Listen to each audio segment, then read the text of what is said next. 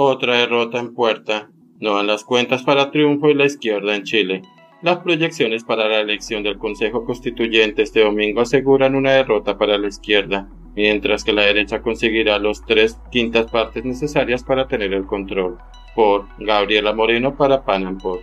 Todos los aliados del presidente chileno Gabriel Boric tienen el estómago contraído. Sus proyecciones para las elecciones de este domingo 7 de mayo vaticinan la derrota de la izquierda en el proceso donde se escogerán a los 50 consejeros que redactarán un segundo proyecto constitucional. La división en las dos listas oficialistas, Unidad para Chile, donde convergen el Frente Amplio de Boric, el Partido Comunista, el Partido Socialista y el Partido Liberal, y Todos por Chile, que agrupa la democracia cristiana y al Partido por la Democracia, los arrasó augurios adversos para esta jornada. Las cuentas de las organizaciones políticas presagian malos números para la izquierda. Según ex ante, la esperanza del sector afín al presidente lograr 21 escaños para tener derecho a veto, pero reconocen que el escenario puede ser aún peor y alcanzar solo 19, mientras que la derecha representada por Chile Vamos y el Partido Republicano aglutina las tres quintas partes del órgano al poder sumar 30 curules. Prepararse para la caída de las urnas es lógico cuando la última encuesta criteria arroja que solo el 31% de los chilenos está interesado en el nuevo proceso constituyente. El número es lapidario al compararlo con el 60% que alcanzó en el 2021. Voto castigo a la vista.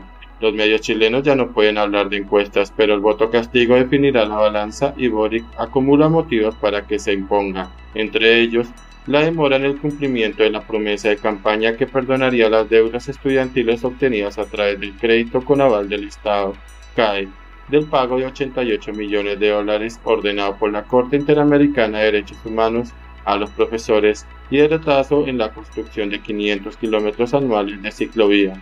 El escenario se complica ante el auge de la inseguridad, la delincuencia y la crisis fronteriza.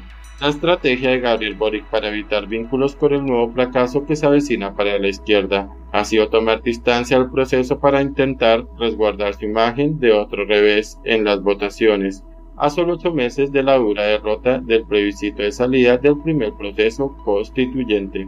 Ya son 20 días fuera de los reflectores.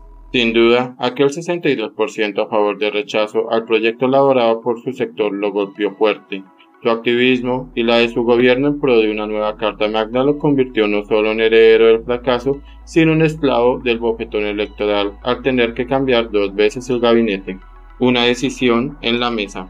Nombrar un tercer equipo parece inevitable si hay un knockout en las urnas, pero el mandatario administra sus pasos ante las cámaras para deslindarse de su rol protagónico. De hecho, la tercera revela que el presidente votará en la región de Magallanes, la Patagonia chilena, y liderará dos comités políticos, uno acotado el 7 de mayo para analizar los resultados y otro tres días después. Así está la agenda de Boric. No está contemplando que el presidente se dirija al país tras conocerse los resultados de las elecciones de este domingo. Publica el medio corroborando que el objetivo es que el jefe de Estado tenga un papel secundario. La vocería posterior a los resultados recaerá en otras autoridades como la portavoz del gobierno Camila Vallejo o la ministra del Interior Carolina Toa. Ellas harán el control de daños. A buscar culpables. Si la derecha alcanza las tres quintas partes del nuevo órgano constituyente, equivalente al 60% de las curules, Boric tendrá que buscar responsables. Los primeros ya están identificados. El Partido por la Democracia, PPD, formación que propuso e insistió en la participación del oficialismo en dos listas y no en una como esperaba el mandatario. Sin embargo, se necesitarán guantes de seda para manejar la situación, considerando que una reprenda desmedida le restaría el apoyo de ocho diputados a seis senadores al Ejecutivo. El Partido Comunista está en ascuas. Si obtiene un desempeño favorable en las urnas, es posible una nueva pugna por puestos e influencia para sumar cargos a la organización dentro del gabinete.